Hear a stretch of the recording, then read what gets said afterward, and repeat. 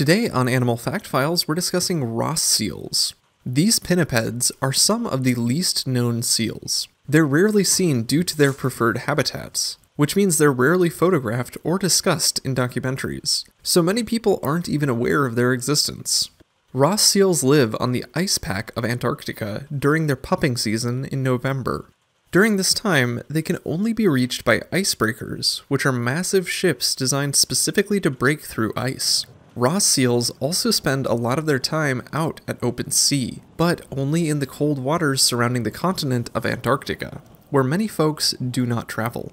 On top of their difficult to reach location, these mammals don't form large breeding colonies, and even their nursing pups are seen swimming between ice floes. So, if you haven't ever heard of a Ross seal, this is likely why. Ross seals have huge eyes, the biggest in relation to body size compared to all other Antarctic seals. At the same time, these seals have a thick neck, which makes the giant eyes less obvious.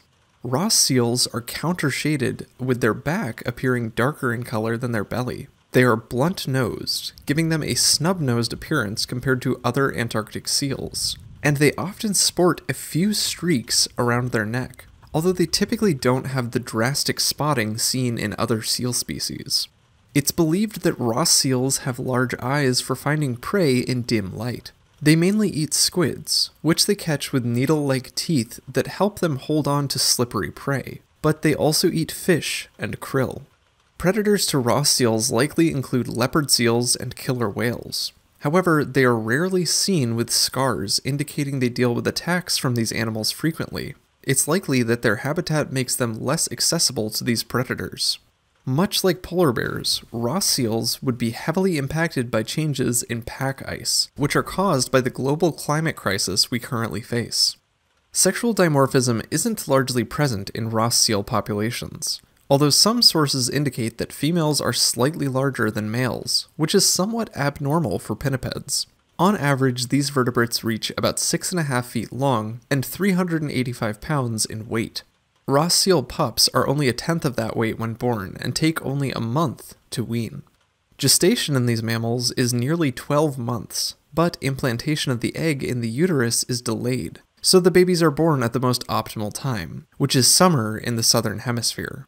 Adults all go through an annual molt, like many seal species, in which their skin and fur is shed. This occurs in January to February, shortly after the pupping season. Outside of these seasons, Ross seals spend most of their time at sea, sometimes reaching as far north as southern Australia islands, although sightings here are rare. Ross seals are believed to live at least 20 years in the wild, but very little is known about them due to difficulties in studying them. Although there are scientific outposts in Antarctica, the seals don't live near any field stations, so they are rarely observed. One of their most iconic poses, however, leads to their other common name. Ross seals are also known as singing seals, because they take on a defensive stance where their mouth is opened and facing the sky, their chest pushed out and proud. Ironically, they rarely make noise during this pose, unless they're approached. For more facts on Ross seals, check out the links below. Give a thumbs up if you learned something new today. Thank you to our patrons, SpikeSpiegel93, Dad, and everyone else for their support of this channel. And thank you for watching Animal Fact Files.